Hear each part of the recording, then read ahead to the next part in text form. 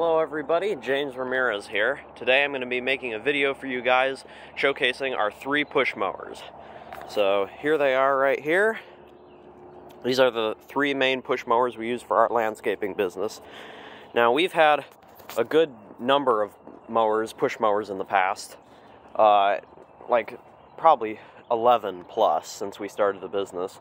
Um, and uh, there, we sold a bunch. We some gave out on us, so we have three main ones that we use now. These are like these are really the two main ones, and then that's more of a backup. We have five mowers altogether, but of those five, three of them are push mowers. So this one right here, this one is the smallest. It's a Murray. Uh, and I don't know if Murray even makes mowers anymore, but I think this is from 2004.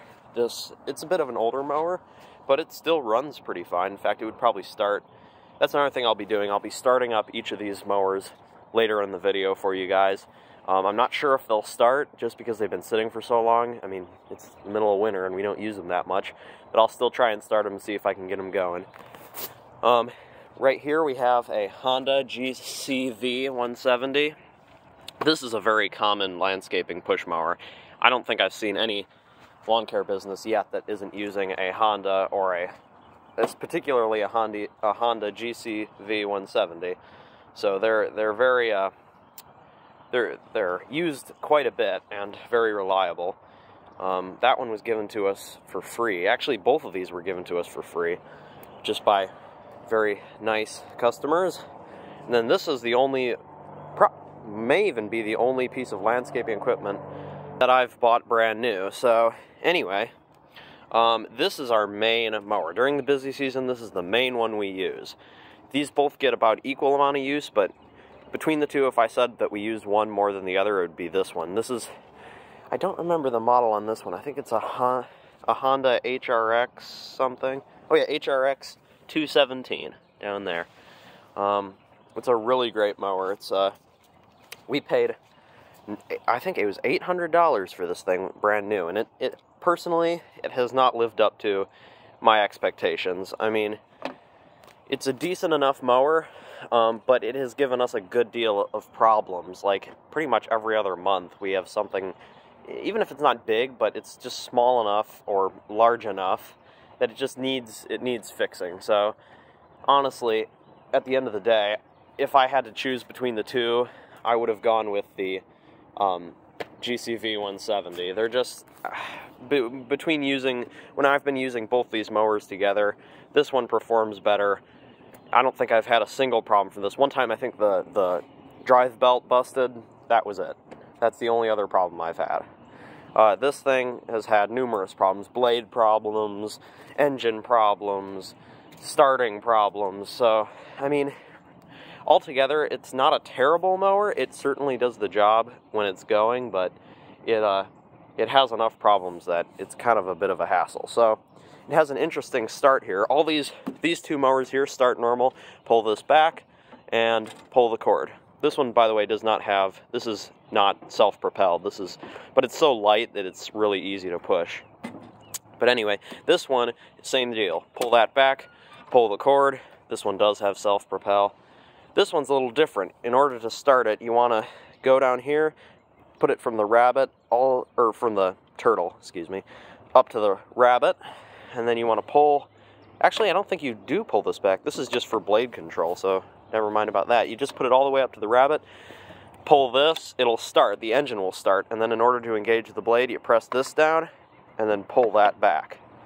Um, right now, this uh, isn't working, we're going to have to have our mechanic look at it, or I might be able to work something out, but as is, the blade will will not start right now. So this uh, this right here, um, the whole blade, the, the way it starts with the blade, um, my personal experience with it is it's been decent enough, but this is probably what's given us the most problems while using it.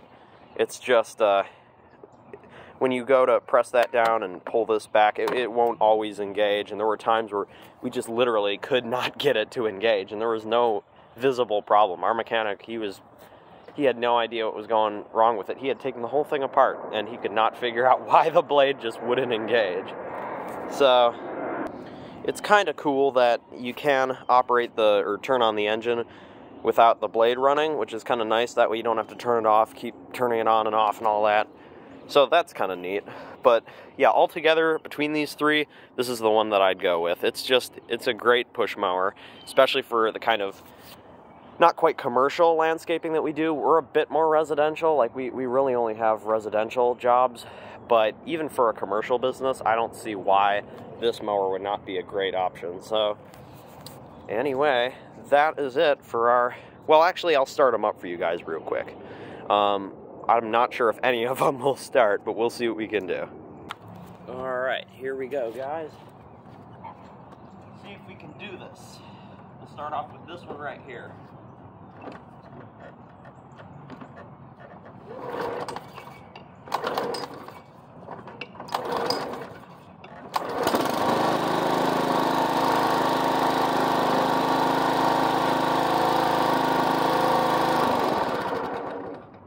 Didn't think that one would start.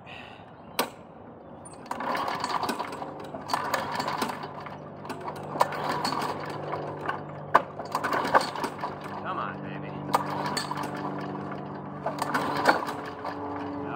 this one may not start at all. It sounds pretty dead. Might need some more oil. I'm pretty sure I checked the gas, so it's got plenty of that. Let's try one more time.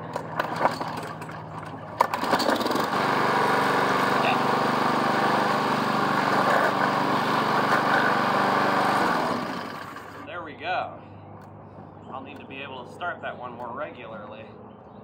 Now this one, this mower right here has a primer bulb. Most mowers don't have that these days. Let's see what we can do here.